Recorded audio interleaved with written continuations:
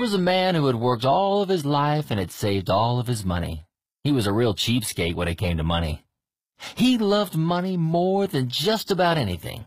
And just before he died, he said to his wife, Now listen, when I die, I want you to take all my money and place it in the casket with me, because I want to take all my money to the afterlife.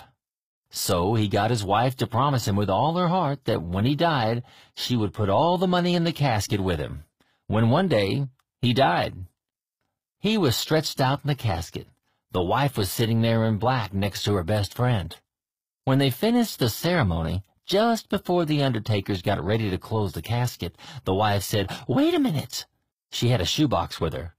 She came over with the box and placed it in the casket. Then the undertakers locked the casket and rolled it away. Her friend said, I hope you weren't crazy enough to put all that money in there with a stingy old man. She said, Yes, I promised. I'm a good Christian. I can't lie.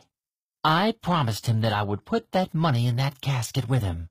You mean to tell me that you put every cent of his money in the casket with him? I sure did, said his wife. I got it all together, put it into my account, and I wrote him a check.